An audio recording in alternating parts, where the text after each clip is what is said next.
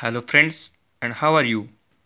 Uh, now we are going to the simple law uh, they are that is law is proposed by the pascal uh, scientist uh, his name is pascal. Uh, this law says that uh, when pressure in enclosed liquid changed at any point by some amount then the equally amount of change in pressure transmitted throughout it इसका statement है।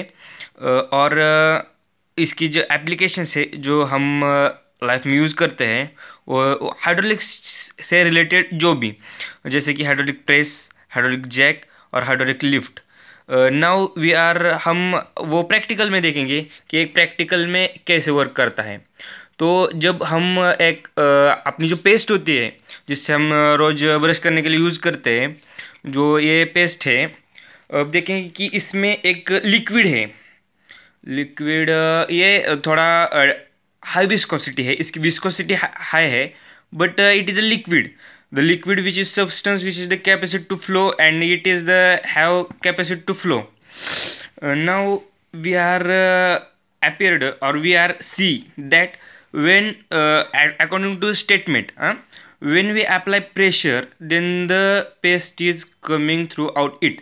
uh, ये जो paste आ रहा है ना बाहर वो uh, उतना उतना आ रहा है जितना मैं प्रेशर अप्लाई कर रहा हूँ। जितना प्रेशर जैसा स्टेटमेंट ये स्टेट करता है कि the when we apply some amount then the equally amount the equal amount to when मैंने जो प्रेशर डाला इसमें, उसके ही जितने का अमाउंट का प्रेशर वो बाहर इमिट कर रहा है। जैसे आप देख रहे हैं, ये बाहर आ रहा है। ये हुआ Pascal's law thank you friends